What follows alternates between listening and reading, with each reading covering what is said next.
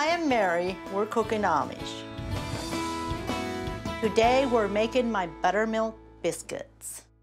The ingredients for this recipe are baking powder, baking soda, salt, buttermilk, sugar, soft butter, and the flour. You always want to preheat your oven at 350 degrees before you start mixing your biscuits. Okay, first of all, I'm gonna put two cups of flour and three teaspoons of baking powder. And a half a teaspoon of baking soda, a half teaspoon of salt, one tablespoon of sugar. Some people don't put sugar in. I always like to put sugar in, makes it much better. Let's stir the dry ingredients so the salt and the sugar gets mixed up in it pretty good. And then let's put our soft butter in. One fourth cup of soft butter, three fourth cup of buttermilk. If it's not soft enough with just three fourths buttermilk, you can always add more milk. I'm gonna add a little more buttermilk, probably another 1 4th cup.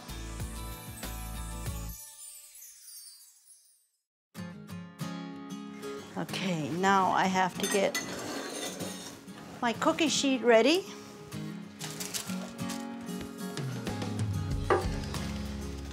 Right now I'm taking butter and buttering my pan so when the biscuits are done so they'll come off my pan easy.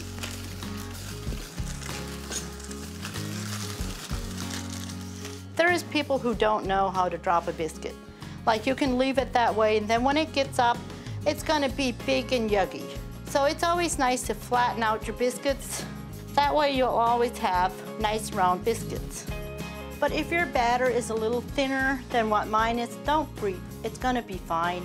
You can always make more biscuits out of a batch. Now these are ready for the oven. They have to be baked for 20 to 30 minutes or until golden brown. I like to check my biscuits at 15 minutes. And they're nice and golden brown.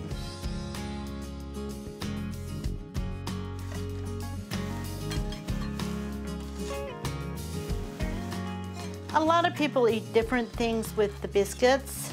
I like to take a knife and cut them in half and use them as bread to eat them like on a sandwich. And I also like to take them when they're a little cool, take the back of them like this and put butter and jam on it and just eat it. It's so delicious. These are my Amish buttermilk biscuits and they're yummy.